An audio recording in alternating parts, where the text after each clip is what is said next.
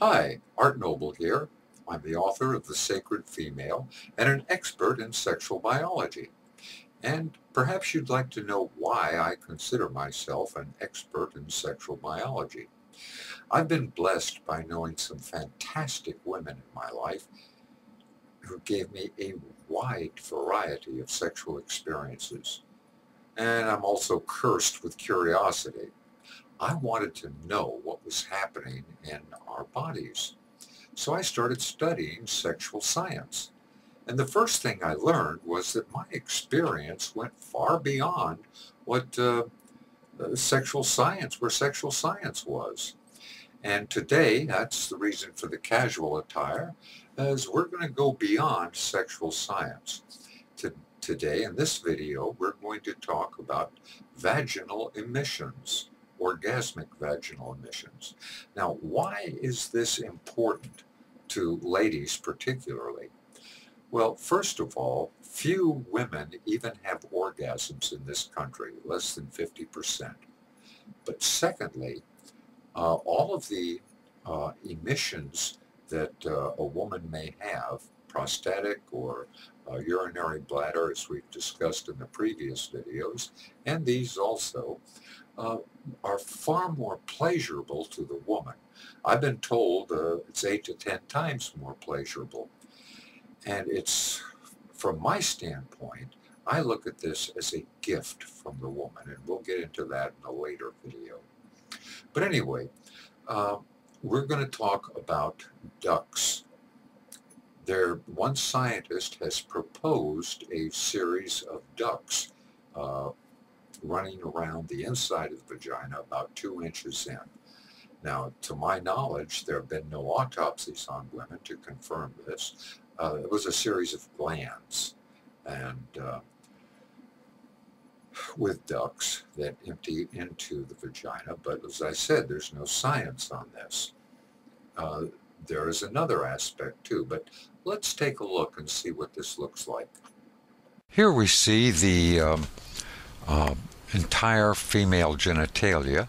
And so let's just take a blow up of the section that we're interested in. Now this shows the vaginal walls with those red blotches would represent the glands and ducts that would be excited on orgasm and emit a fluid into the vagina which would come out through the vagina.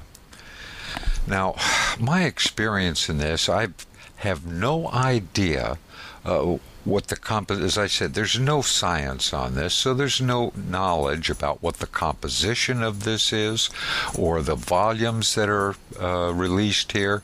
It's just a proposed theory on what might cause it. Now let's go back and take another look at something else. Now, this is a view of the female prostate. Actually, when Huffman did this, uh, this is a pencil sketch from a wax mold that he made uh, of the female prostate, only in those days it was called paraurethral glands. Now, Zaviačič, uh, over a 10 year period from 89 to 99, autopsied over 200 women to uh, look at the female prostate. And he looked at the glands and the ducts and how they went back into the urethra, but he was not looking for a duct from uh, the uh, prostate gland into the vaginal wall. So we don't know if that could possibly be a source. Uh, or was it from a gland, or was it actually from the urethra itself going into the vaginal wall? We don't know. There you have it the uh, two possible sources for one type of vaginal emission. Now, this is, uh, uh, I, I can't, you know, there's no science, so there's no data on the composition of the material, on the volume of the material, or anything like that. But as a guy, I can tell you what it feels like. I'm sure you've seen these circular uh, sprinklers, lawn sprinklers, that have little holes all throughout them and they like that. Well, imagine one of those with most of the holes blocked off, leaving one, three, five, I don't know how many. And it's like someone is taking the handle on the hose and going, yeah, that's what it feels like. Well, one woman in Canada told me that uh, it, she's a nurse, and she told me that it felt like she had a pinhole in her urethra that was discharging into the vagina, which makes sense from one of those things. And another woman told me, I better read this to you. What she said was that this emission, quote, it was definitely vaginal. I can have a stab at a delicate description, but that won't help much. So here you have a more clinical version. The fit of the penis at the time of the gush was not sufficiently snug to prevent the fluids from gushing out. It was felt clearly by both parties as emanating from the vagina. The liquid had a lower viscosity than usually associated with uh, vaginal secretions and a higher temperature than previously experienced. It was also well before male orgasm and ejaculation had taken place, therefore ruling out the possibility of it being male ejaculate.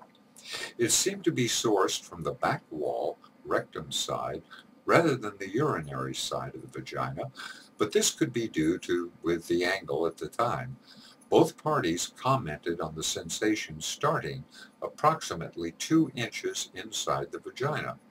Again, this might be because of the specific penile shape and therefore the vaginal fit.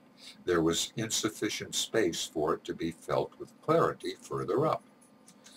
Well, there you have it. That's two descriptions of uh, what it, you know, uh, this is what they call anecdotal evidence. And there is one other source that we'll be getting into in the next video, and that is emission that may have its source in the uterus. Wow. Well, thank you for listening, and I hope you may have learned something from this. Have a great day. Bye-bye.